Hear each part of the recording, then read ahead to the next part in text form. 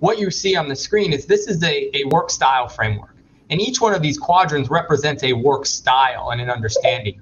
And by understanding your team's strengths as well as potential opportunities, the leader of this organization is going to be much uh, better uh, prepared to address those conflicts, especially as it uh, as it arrives or as it aligns to the objective that they're trying to achieve. And you know, Matt, I'd love to hear your thoughts when you see an exploring team. What sticks out to you? What are some of the things that really pop off on the paper for you? Yeah, I think what you see on a team like this is we would describe it as as uh, pretty balanced in the sense that there's people in each of the quadrants. That doesn't always happen, uh, and and it gives you a lot of variety, which is a good thing because it makes the team very flexible. But at the same time, it's a, a challenging team if, when you're the team leader because you have to recognize there's lots of different personality types and therefore lots of different needs that have to be met. Because you have a concentration around innovation and agility, if you think about the collective of the team it's going to tend to be a team that wants to go fast. They're going to want to change, you know, dynamic, all the reasons that you that you talked about. Well, what's the implications of when we act that way for people who are in orange in this quadrant that are like, yeah, that kind of sounds like me sometimes.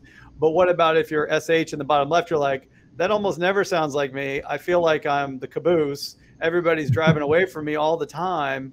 Don't they recognize my strengths here? What I can do on this team? And my recommendation for somebody in that position is, you know, balance but don't block. Find a way to highlight those uh, the opposite of those overused strengths. Bring up the details that are going to drive us into a ditch if we don't acknowledge them. But don't try to slow the train down so much that you frustrate, you know, the team when they need to make change happen. So you got to find that sweet spot. My advice to the leaders in an innovation agility quadrant like this is to look at that person and celebrate their role on the team.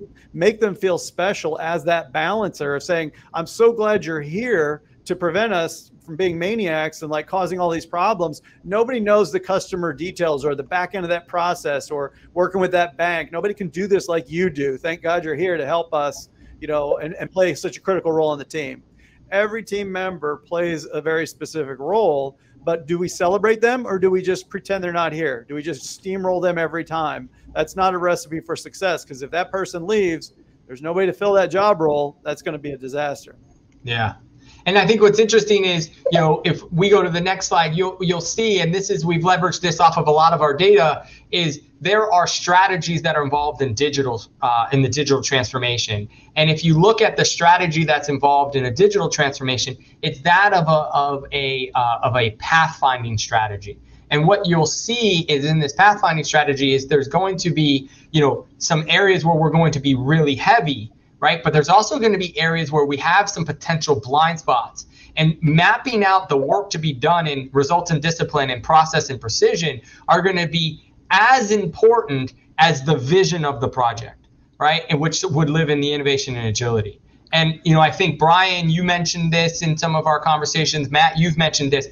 Aligning the work to be done with the people that are best positioned to do that work is the number one role in a successful transformation. Brian, would you agree with that? I would, and I'm gonna have to jump off unexpectedly, but yes, I don't I don't know these these you know the the first and last names or who these people are in this team dynamic, but I can tell you by looking at this uh, these quadrants, what I would do is if I'm having a conversation with anything as we're laying it out, I'm going to look at SH in the bottom left hand corner. I'm going to say, what are we missing? What are we not thinking about? What uh, this sounds like a great plan, where what you know how could this go wrong? Or i'm going to ask hm so what what blind spots are we not seeing? Because there's i know it sounds great and it's lollipops rainbows and unicorns. What could go wrong if we do this? What how what could get disrupted along the way? And i'm going to value their opinions especially then i'm going to ask co and how are we going to guard this process? What are the uh, the accountability measures that are going to be put into place and how do we guard this process.